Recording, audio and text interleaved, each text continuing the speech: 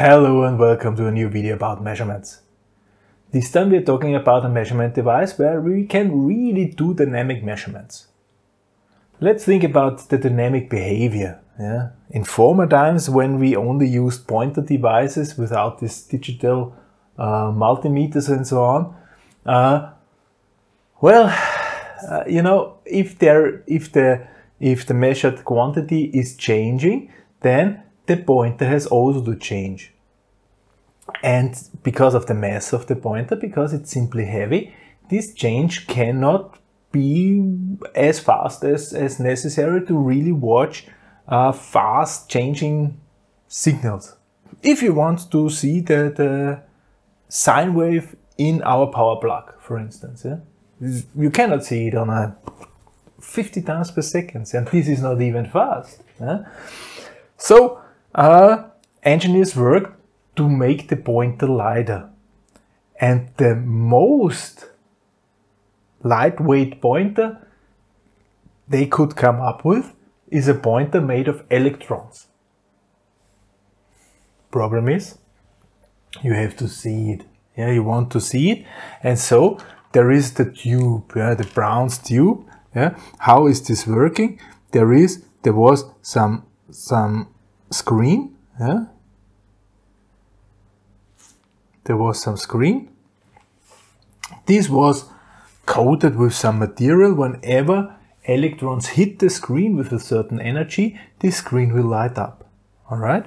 And there is somewhere is some electron source. Yeah? It's the electron source.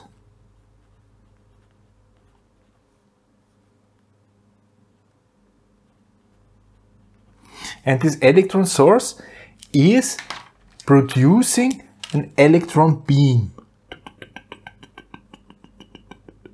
And this electron beam is hitting the screen somewhere yeah, at some point. So this is a beam.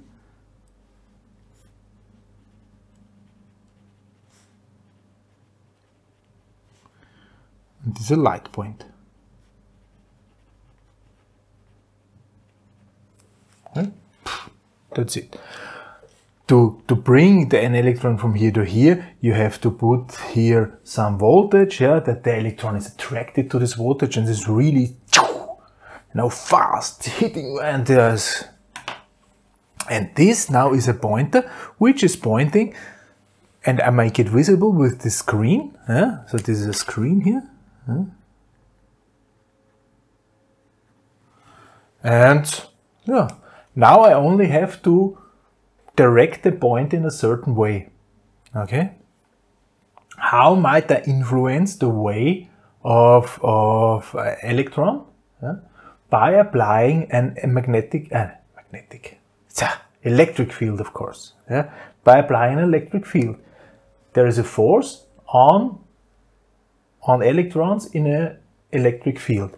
So I only have to, to do here some plates here and make plates. These plates I connect to the outside world.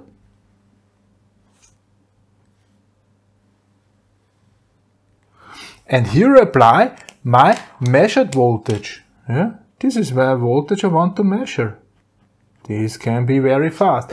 And now the pointer will go up and down. Yeah? It would also be nice if it can go left and right. So there are also there are also plates located in this direction. One here. One here. And this two plates. I apply to a generator. Yeah, this is an internal voltage. How does the internal voltage look like? The internal voltage usually looks like that.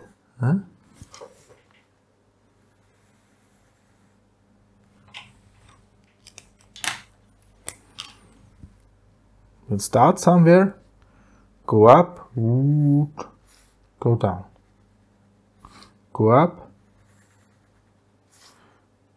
go down. So this point is always start here. This plate is attracting. Start here, and then zzz, zzz, zzz, zzz, immer. Zzz, zzz, zzz, also zzz, zzz, This is exactly what this voltage is doing. All right. So this is the time. And when this measurement voltage is changing over time, I see this form of the measurement voltage. That's it. Yeah, that's it. Yeah. The measured voltage might look somehow, yeah, somewhere like that. Ooh.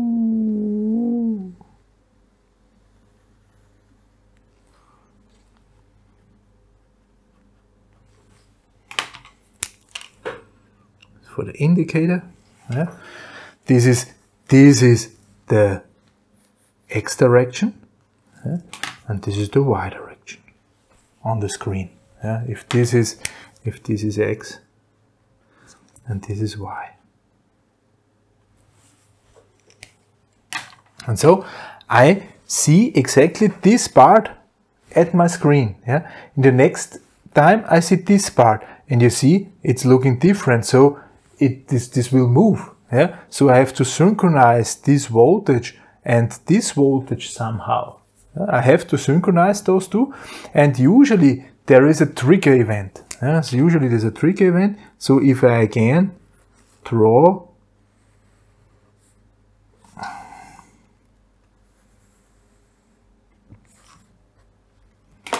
this and I hope I can manage to draw it very similar.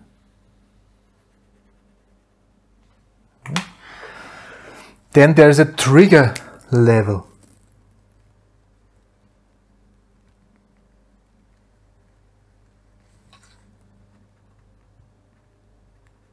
whenever the input, whenever the input is triggered, is reaching this trigger event, I will start to, to rise with my, with my UI. Yeah? Then I will go back to zero.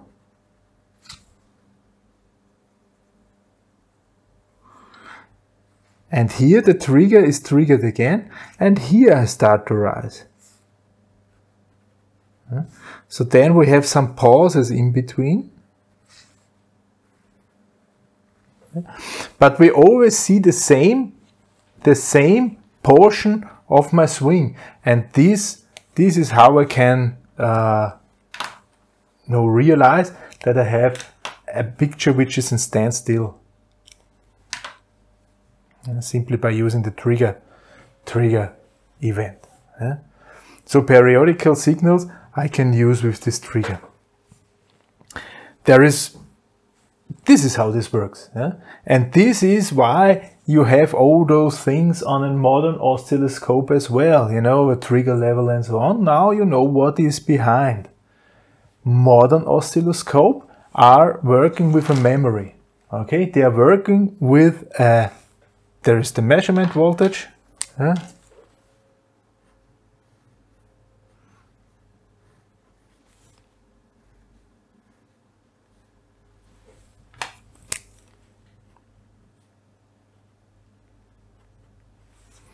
Then there's a fast analog digital converter.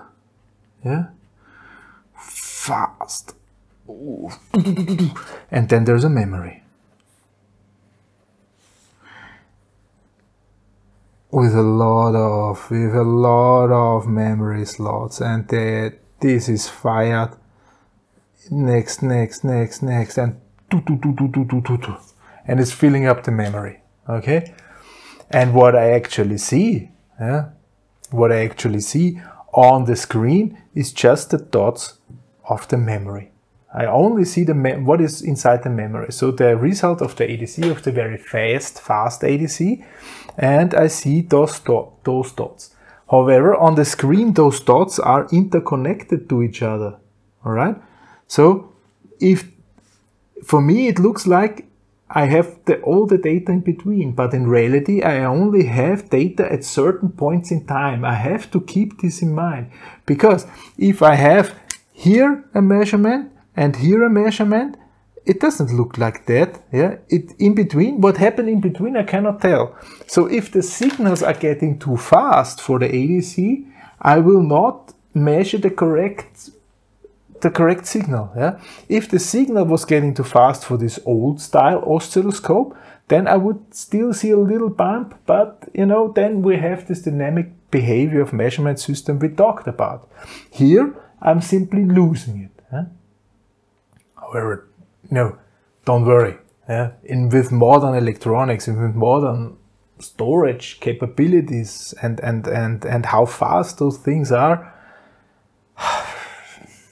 yeah, you will probably be fine. I'm not sure what you're measuring or what you will measure in your life, but you know, you have maybe to think about it, but in the majority of things, it does not really matter. And now, those displays, yeah, they don't need to be with this tube. Huh? They don't need to be big. Now, nowadays oscilloscope are rather small and, and, and handy with the TFT display and so on. And you can zoom and, you know, you can do one shot. Yeah, fill in the, the, the memory and then you can even, you cannot even watch uh, periodic things. You can, things which happen only once. Yeah, a peak or something like this. You can record this and watch it over and over again. So there are it is a good development. Uh, don't get me wrong. Yeah, this is called storage oscilloscope. Yeah, or digital storage, digital storage oscilloscope. This is what it is today. But you know, you have all those knobs and so on with trigger and so. So I explained this, this stuff also, that you know a little bit where it's coming from. Oscilloscope. Yeah. There are also digital storage oscilloscopes which are, uh, well, they're not, uh, they cannot measure detailed, yeah. So this ADC converter is not really converting very detailed, but can only distinguish between high and and and low, for instance. Yeah. Then you have a so-called logic analyzer. So a logic analyzer is a digital storage oscilloscope with ADC is a one bit ADC, yeah, and therefore very fast. All right. Yeah, that's for measuring electrical quantities. Yeah? Now, let's measure non-electrical values. Let's see how this is working. An introduction to this, how, how this is working, those things are called sensors, yeah, but we will discuss this in next video. For this time, thank you very much for listening. Goodbye.